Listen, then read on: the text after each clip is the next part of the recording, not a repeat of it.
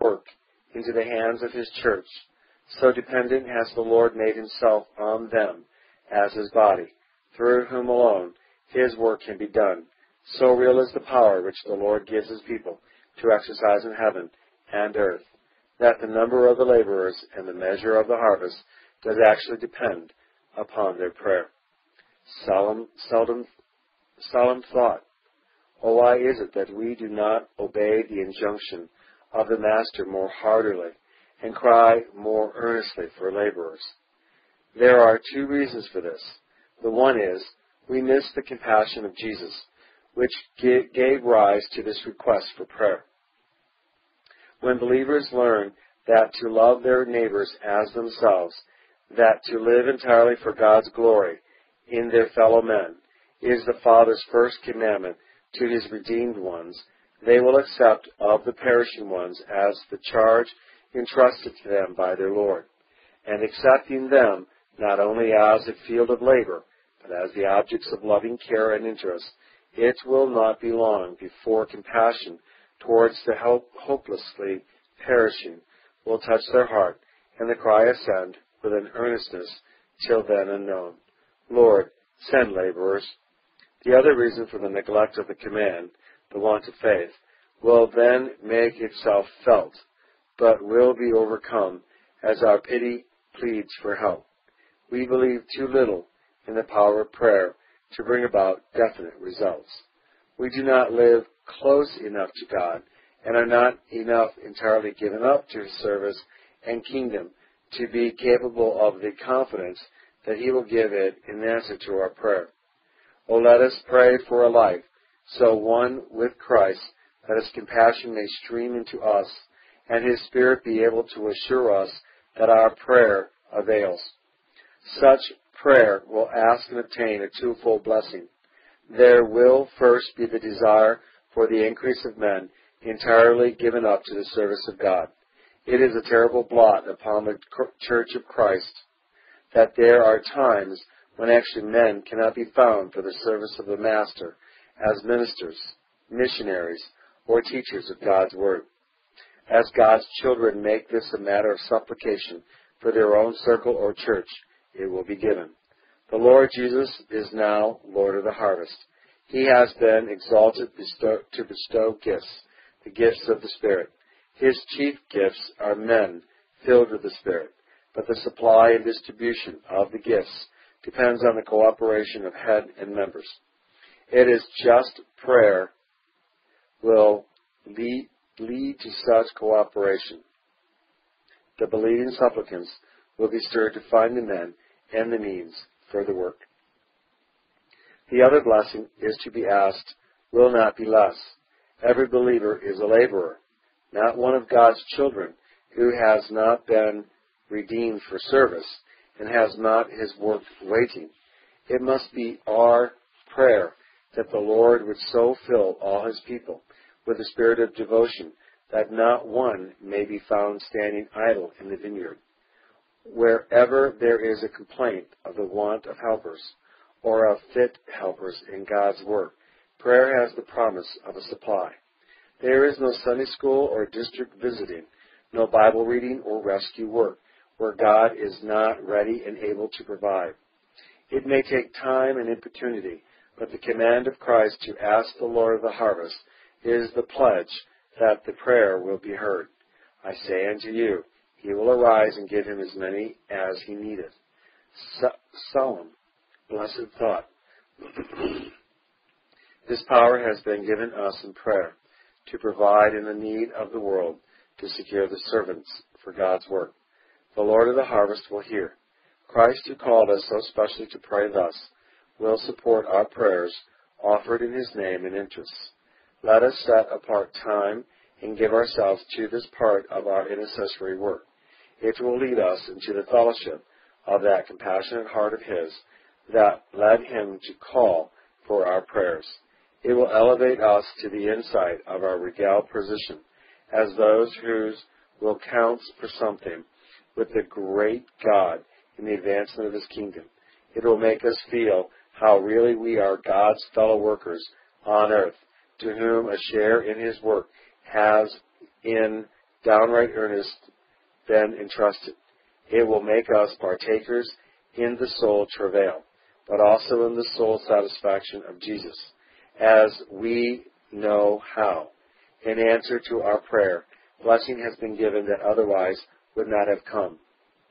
Lord, teach us to pray. Blessed Lord, Thou hast this day again given us another of Thy wondrous lessons to learn. We humbly ask Thee, O give us to see aright the spiritual reality of which Thou hast been speaking. There is the harvest which is so large and perishing, as it waits for sleepy disciples to give the signal for laborers to come. Lord, teach us to look out upon it with a heart moved with compassion and pity. There are the laborers so few. Lord, show us how terrible the sin of the want of prayer and faith, of which this is the token. And there is the Lord of the harvest, so able and ready to send forth, send them forth. Lord, show us how he does indeed wait for the prayer to which he has bound his answer. And there are the disciples to whom the commission to pray has been given. Lord, show us how thou canst pour down thy Spirit and breathe upon them, so that thy compassion and the faith in thy promise shall rouse them to unceasing, prevailing prayer. O our, o our Lord, we cannot understand how thou canst entrust such work and give such power to men so slothful and unfaithful. We thank thee for all whom thou art teaching to cry day and night for laborers to be sent forth. Lord, breathe thine own spirit on all thy children, that they may learn to live for this one thing alone, the kingdom and glory of our Lord, and become fully awake to the faith of what their prayer can accomplish. And let all our hearts in this, as in every petition, be filled with the assurance that prayer, offered in loving faith in the living God, will bring certain and abundant answer. Amen. With Christ in the School of Prayer by Andrew Murray, being read by Peter John Parisius, also known as Brian Dean. The audio is not copyrighted. Please feel free to make as many copies as you desire. With Christ in the School of Prayer, 10th lesson. What wilt thou? Or, prayer must be definite. Quote, and Jesus answered him and said, What wilt thou that I should do unto thee? Unquote. Mark 10:51, Luke 18:41. The blind man had been crying out aloud, and that a great deal. Thou son of David, have mercy on me. The cry had reached the ear of the Lord. He knew what he wanted, and was ready to grant it him. But ere he does it, he asked him, What wilt thou that I should do unto thee? He wants to hear from his own lips, not only the general petition for mercy, but the distinct expression of what his desire was. Until he speaks it out, he is not healed.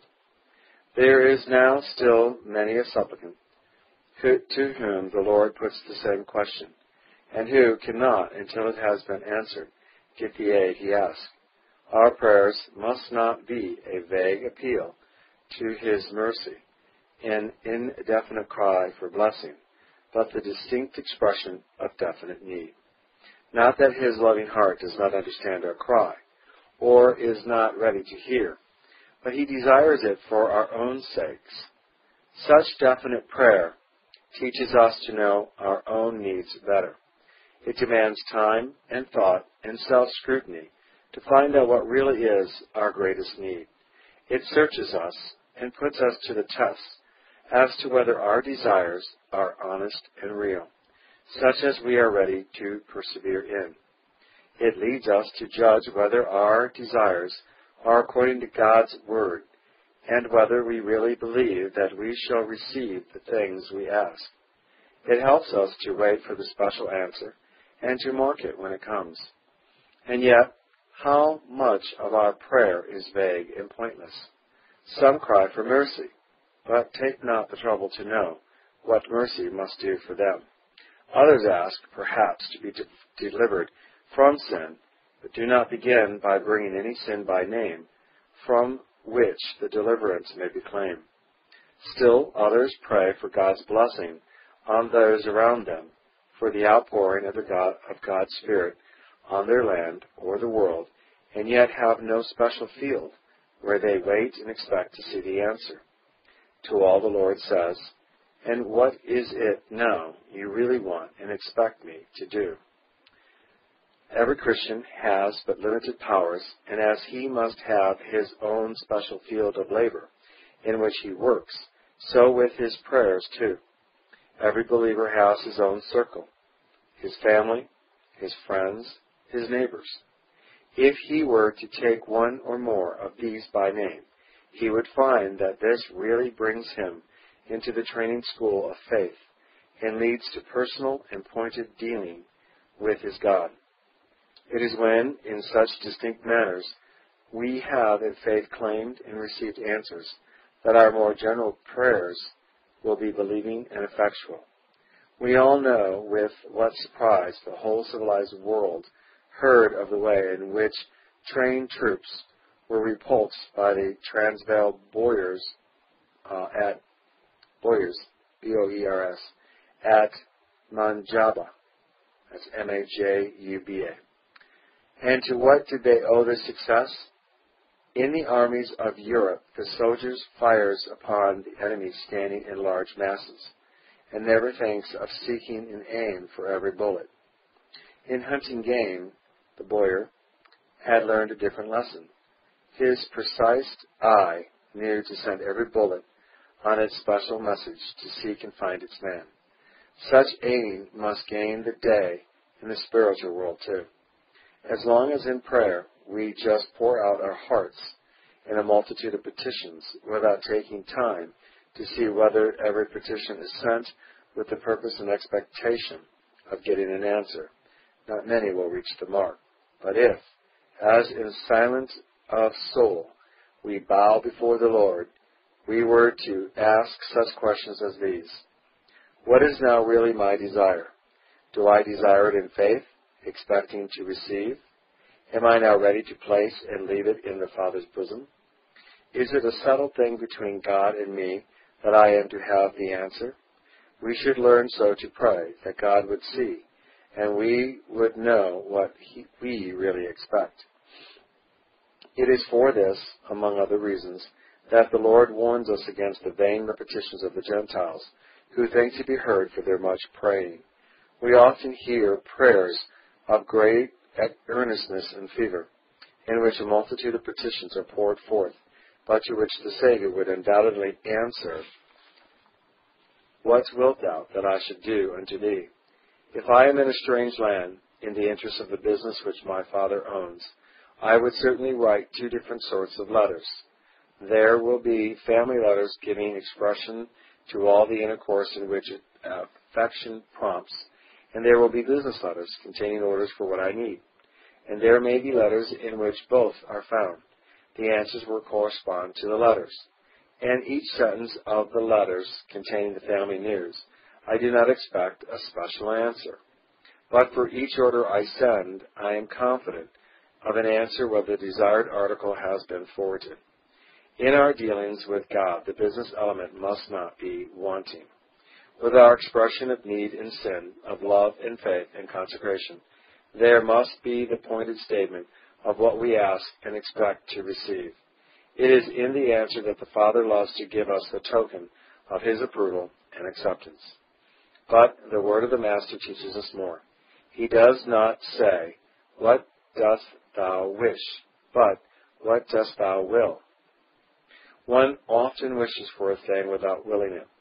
I wish to have a certain article, but I find the price too high. I resolve not to take it. I wish, but do not will to have it. The sluggard wishes to be rich, but does not will it. Many one wishes to be saved, but perishes because he does not will it. The will rules the whole heart and life. If I really will to have anything that is within my reach, I do not rest till I have it. And so, when Jesus says to us, What wilt thou? He asks whether it is indeed our purpose to have what we ask at any price, however great the sacrifice. Dost thou indeed so will to have it that, though he delay it long, thou dost not hold thy peace till he hear thee? Alas, how many prayers are wishes, sent up for a short time and then forgotten, or sent up year after year as a matter of duty, while we rest content with the prayer without the answer. But it may be asked, is it not best to make our wishes known to God and then to leave it to Him to decide what is best, without seeking to assert our will? By no means. This is the very essence of the prayer of faith, to which Jesus sought to train His disciples, that it does not only make known its desire, and then leave the decision to God. That would be the prayer of submission, for cases in which we cannot know God's will. But the prayer of faith, finding God's will in some promise of the Word, pleads for that till it comes. In Matthew 9:28, we read Jesus said to the blind man, "Believe ye that I can do this?" Here in Mark he says, "What wilt thou that I should do?" In both cases he said that faith had saved them. And so he said to the Syrophoenician woman too, Great is thy faith. Be it unto thee even as thou wilt. Faith is nothing but the purpose of the will, resting on God's word, and saying, I must have it. To believe truly is to will firmly. But it is not such a will at variance with our dependency on God and our submission to Him. By no means. It is much rather the true submission that honors God. It is only when the child has yielded his own will and entire surrender to the Father that he receives from the Father liberty and power to will what he would have. But when once the believer has accepted the will of God as revealed through the Word and Spirit as his will too, then it is the will of God that his child should use this renewed will in his service. The will is the highest power of the soul. Grace wants above everything to sanctify as I restore this will. One of the chief traits of God's image to full and free exercise. As a son who only lives for his father's interests, who seeks not his own but his father's will, is trusted by the father with his purpose, with his business. So God speaks to his child in all truth. What wilt thou? As a son who only lives for his father's interests, who seeks not his own, but his father's will, is trusted by the father with his business. So God speaks to his child in all truth. What wilt thou?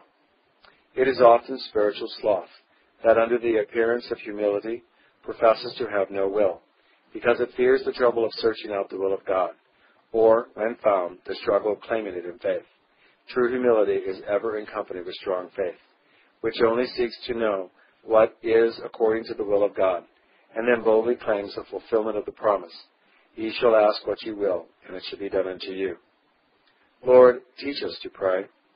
Lord Jesus, teach me to pray with all my heart and strength, that there may be no doubt with Thee or with me as to what I have asked. May I so know that I desire that, even as ray petitions are recorded in heaven, I can record them on earth too, and note each answer as it comes. May I know what I desire, that even as my petitions are recorded in heaven, I can record them on earth too, and know each answer as it comes. And may my faith in what thy word has promised be so clear that the Spirit may indeed work in me the liberty to will that it shall come. Lord, renew, strengthen, sanctify wholly my will for the work of effectual prayer. Blessed Saviour, I do beseech Thee to reveal to me the wonderful contemplation Thou showest us, thus asking us to say what we will that Thou shouldest do, and promising to do whatever we will. Son of God, I cannot understand it. I can only believe that Thou hast indeed redeemed us wholly for Thyself, and dost seek to make the will as our noblest part thy most efficient servant. Lord, I do most unreservedly yield my will to thee as the power through which thy Spirit is to rule my whole being. Let him take possession of it, lead it into the truth of thy promises, and make it so strong in prayer that I may ever hear thy voice saying, Great is thy faith, be it unto thee, even as thou wilt. Amen. With Christ in the School of Prayer by Andrew Murray. This is being read by Peter John Paresis, also known as Brian Dean. This is not copyrighted, so please feel free to make as many copies as you desire. Eleventh lesson. Believe that ye have received, or the faith that takes. Quote, Therefore I say unto you, all things whatsoever ye pray and ask for, believe that ye have received them, and ye shall have them. Unquote. Mark 11:24.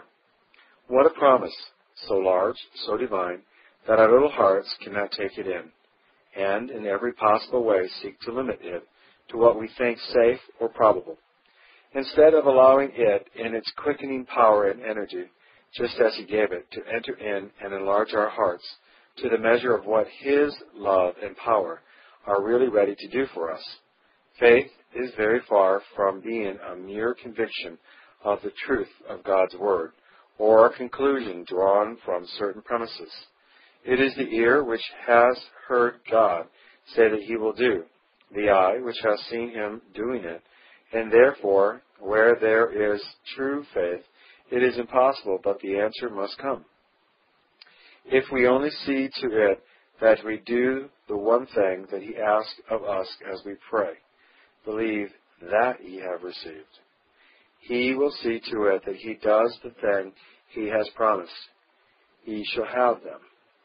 The keynote of Solomon's prayers, 2 Chronicles 6 4. Blessed be the Lord God of Israel, who hath with his hands fulfilled that which he spake with his mouth to my father David, is the keynote of all true prayer. The joyful adoration of a God whose hand always secures fulfillment of what his mouth has spoken. Let us in this spirit listen to the promise Jesus gives. Every part of it has its divine message. All things whatsoever. At this first word, our human wisdom at once begins to doubt and ask, this surely cannot be literally true. But if it be not, why did the Master speak it, using the very strongest expression he could find? Quote, all things whatsoever. Unquote. And it is not as if this were the only time he spoke thus. It is not he, is it not he, who also said, quote, If thou canst believe, all things are possible to him that believeth. Unquote. Quote, If ye have faith, nothing shall be impossible to you. Unquote. Faith is so wholly the work of God's Spirit through His Word in the prepared heart of the believing disciple that it is impossible that the fulfillment should not come. Faith is the pledge and forerunner of the coming answer. Yes, all things whatsoever ye shall ask in prayer believing, ye receive. The tendency of human reason is to interpose here, and with certain qualifying clauses, if expedient, if according to God's will, to break the force of a statement which appears dangerous to let us beware of dealing thus with the Master's words. His promise is most literally true. He wants his oft repeated all things to enter into our hearts and reveal to us how mighty the power of faith is, how truly the head calls the member to share with him in his power, how wholly our Father places his power at the disposal of the child that wholly trusts him, in this, all things, faith is to have its food and strength. As we weaken it, we weaken faith, though whatsoever is unconditional. The only condition is that is what is implied in the believing. Ere we can believe, we must find out and know what God's will is. Believing is the exercise of a soul surrendered and given up to the influence of the Word and the Spirit. But when once we do believe, nothing shall be impossible. God forbid that we should try and bring down His all things to the level of what we think possible. Let us now simply take Christ whatsoever as the measure and the hope of our faith. It is a seed word which, if taken just as He gives it, and kept in the heart will unfold itself and strike root, fill our life with its fullness, and bring forth fruit abundantly. All things whatsoever ye pray and ask for. It is in prayer that these all things are to be brought to God, to be asked and received of Him. The faith that receives them is the fruit of the prayer. In one aspect, there must be faith before there can be prayer. In another, the faith is the outcome and the outgrowth of prayer. It is in the personal presence of the Savior, in intercourse with Him, that faith rises to grasp what at first appeared too high. It is in prayer that we hold up our desire to the light of God's holy will, that our motives are tested and proof given whether we ask indeed in the name of Jesus and only for the glory of God. It is in prayer that we wait for the leading of the Spirit to show us whether we are asking the right thing and in the right spirit. It is in prayer that we become conscious of our want of faith, that we are led on to say to the Father that we do believe, and that we prove the reality of our faith by the confidence with which we persevere. It is in prayer that Jesus teaches and inspires faith. He that waits to pray or loses heart in prayer because he does not yet feel the faith needed to get the answer will, will never learn to believe. He who begins to pray and ask will find the spirit of faith is given nowhere so surely as at the foot of the throne. Believe that you have received. It is clear that what we are to believe is what we, we receive the very things we ask. The Savior does not hint that because the Father knows what is best, he may give us something else. The very mountain faith bids depart is cast into the sea. There is a prayer in which, in everything, we make known our request with prayer and supplication, and the reward is the sweet peace of God keeping heart and mind. This is the prayer of trust. It has reference to things of which we cannot find out if God is going to give them. As children, we make known our desires in the countless things of daily life, and leave it to the Father to give or not as He thinks best. But the prayer of faith of which Jesus speaks is something different, something higher. When whether in the greater interest of the Master's work or in the lesser concerns of our daily life, the soul is led to see how there is nothing that so honors the Father as the faith that is assured that He will do what He has said in giving us whatsoever we ask for, and takes its stand on the promise we has brought home by the Spirit, it may know most certainly that it does receive exactly what it asks. Just see how clearly the Lord sets this before us in verse 23. Quote, Whatsoever shall not, no, whosoever shall not doubt in his heart, but shall believe that what he saith cometh to pass, he shall have it. Unquote. This is the blessing of the prayer of faith of which Jesus speaks. Believe that ye have received. This is the word of central importance, of which the meaning is too often misunderstood. Believe that ye have received. Now, while praying, the thing you ask for, it may only be later that you shall have it in personal experience, that you shall see what you believe. But now, without seeing, you are to believe that it has been given you of the Father in heaven.